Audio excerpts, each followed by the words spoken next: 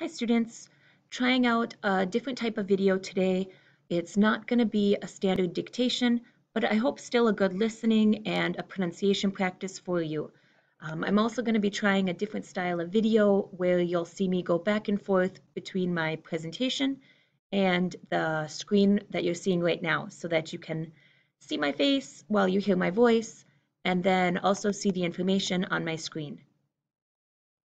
So what we're going to be talking about today is the reduced pronunciation of specific words in American English, not the reduced phrases like when I say gonna, what we're gonna be talking about today. Not the specific phrases, um, but individual words that often get cut or shortened. Important things that we need to review before we jump into this topic is the idea of syllable. So remember that syllable is a piece of a word. For example, the word syllable has three pieces. Syllable. There's three pieces, there's three syllables in the word syllable. Um, we can divide any word up like this. If we think about the word school, school, one piece, one syllable. If we think about the word education, education, four syllables. Um, so as we go through these specific words, we're going to be talking about, we're gonna, we're gonna, we're going to be talking about how many syllables the word should have and how many syllables are actually pronounced in common American English. The next thing that we have to think about is what I'm going to refer to as the clear form or the clear pronunciation.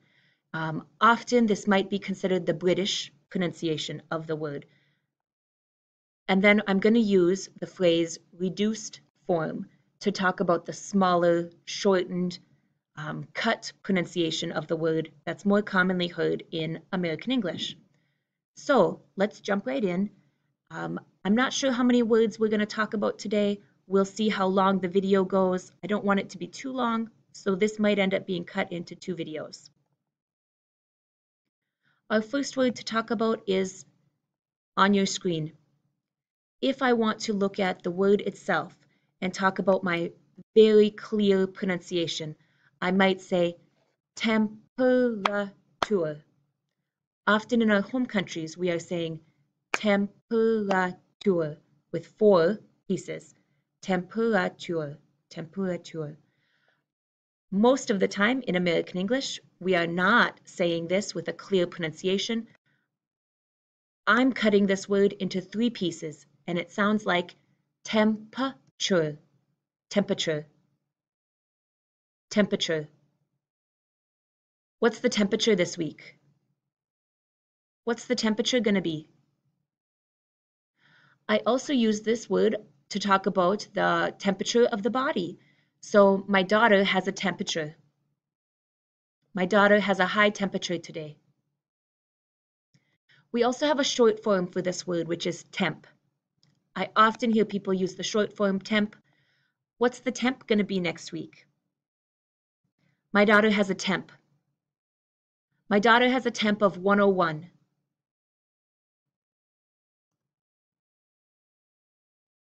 Our next word to look at today is on your screen right now. Often I will hear students pronounce this with four syllables, comfortable. And this might be a way that you have heard people pronounce it before.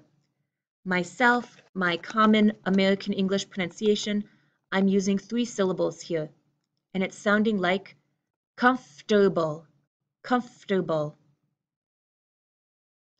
uncomfortable. Are you feeling comfortable? Are you feeling comfortable this afternoon? She looks uncomfortable. She looks uncomfortable.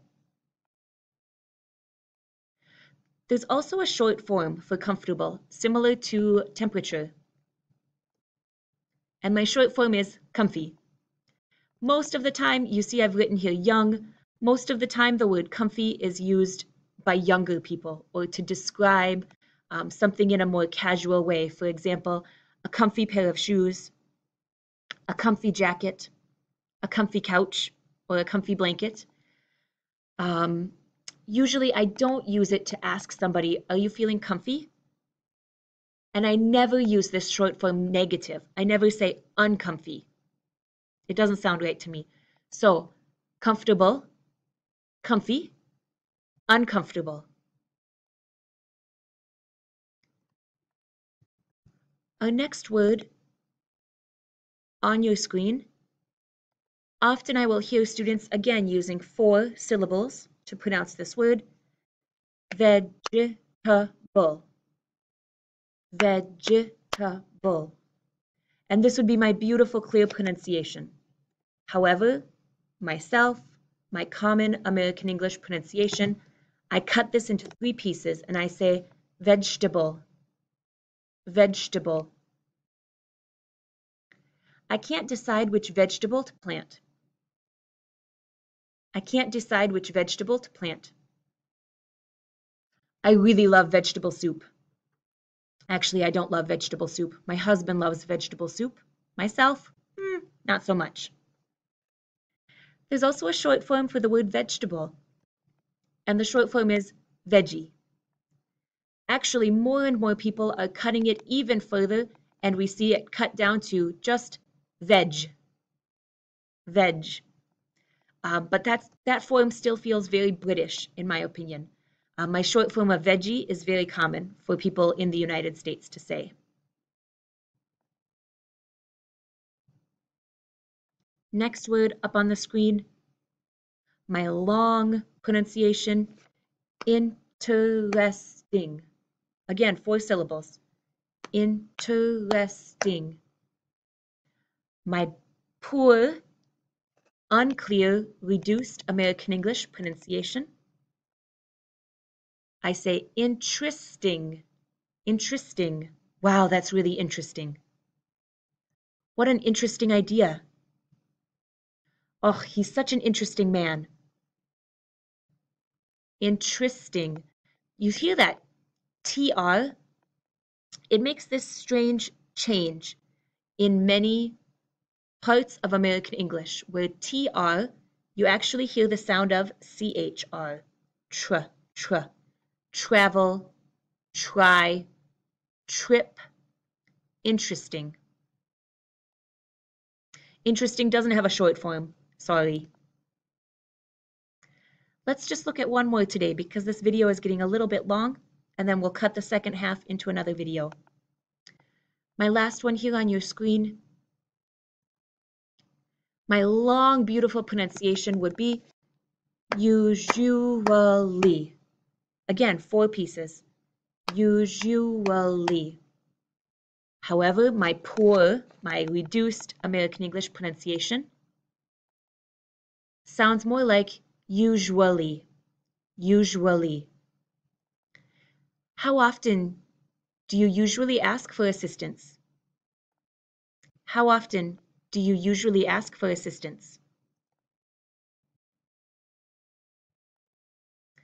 And I added on the bottom here for us to talk about the two different words of usual, usual, three pieces, usual, which is my adjective, usually, usually, usually, my adverb, right? Also, I could make this negative and I could say unusual. Unusual. He's an unusual man. He's an unusual man. I can't think of a good sentence to use unusually. I feel like I can make it, but I can't think of a good sentence to, to put it into. Um, so these five words, we talked about temperature, comfortable, vegetable, interesting, usually. Temperature? What's the temperature today? Comfortable? Are you comfortable listening to spoken English? Vegetable. What's your favorite vegetable? Interesting. What an interesting idea. Usually. Usually, I practice English with my students. Let me know in the comments which one of these five is the most difficult for you, which one is the easiest for you, or if you can think of another word that often is difficult for you to understand in pronunciation or in listening, um, let me know in the comments and I could always add it into the next video. So remember to like and subscribe so that you get notifications when I'm putting up a new video and we'll see you soon. Bye students.